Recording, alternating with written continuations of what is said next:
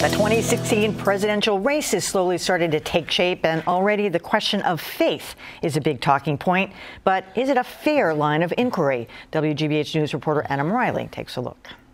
Let this be the time when we can tell future generations what we did to make America great again. With Wisconsin Governor Scott Walker actively wooing conservatives, the Washington Post recently asked him if President Obama is a Christian. His answer? I don't know.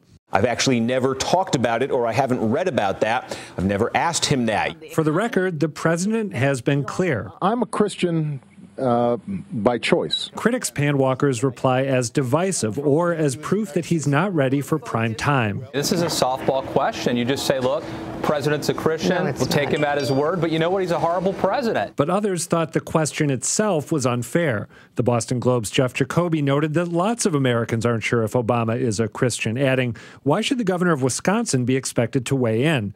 Walker has also dodged two other questions in recent days one on evolution. Are you comfortable with the idea of evolution? Do you believe in it? Do you accept it? Uh, for me, I'm gonna I'm gonna punt on that one as well. No. And one on Rudy Giuliani's claim that the president doesn't love America. The mayor can speak for himself. I, am not going to comment. A Walker spokesman later told the Post, "Of course, the governor thinks the president is a Christian. He thinks these kinds of gotcha questions distract from what he's doing. Maybe Walker should have just said that in the first place." I had a, just a, a, a, visceral reaction to that. I, I thought this was wrong of the Washington Post to be asking Scott Walker if the president is a Christian. It's one thing if you ask the president. I don't even want to know what he thinks about this. I, felt very troubled by it. I'm, I'm, troubled in general by questions uh, about people's faith uh, in, in, running for. I don't want to know if some president is praying for peace. You know, oh, don't don't ask don't ask that question. I hope he's you know doing more than just praying. And but to ask some potential whether the president is, it's just, that just was completely off. Well, look, there's the kernel of a real issue in there, and that is surveys show that a an overwhelming percentage of Republicans believe that President Obama is a Muslim.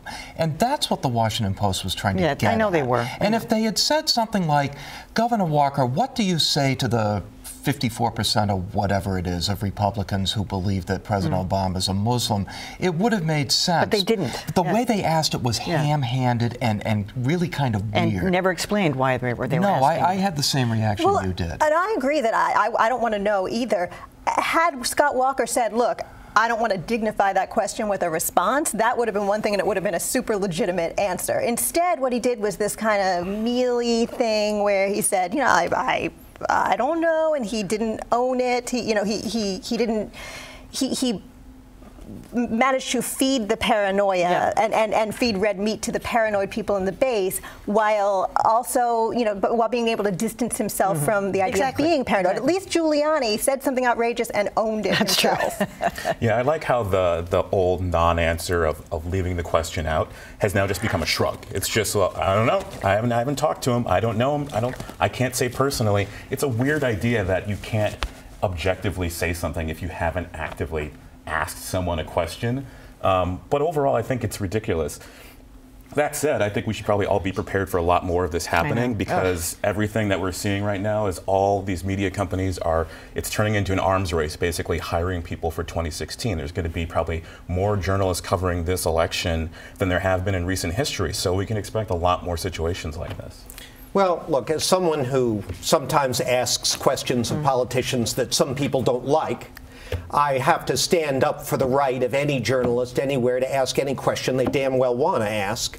And if the person doesn't want to respond, that's fine. In fact, I see Scott Walker taking a page out of the Deval Patrick playbook. Hardly a week went by during the Patrick years where I wasn't at some scrum where the governor would be asked about something that was in the news and he would say, I don't have to have an opinion on everything. And then we would move on because he was hmm. absolutely right.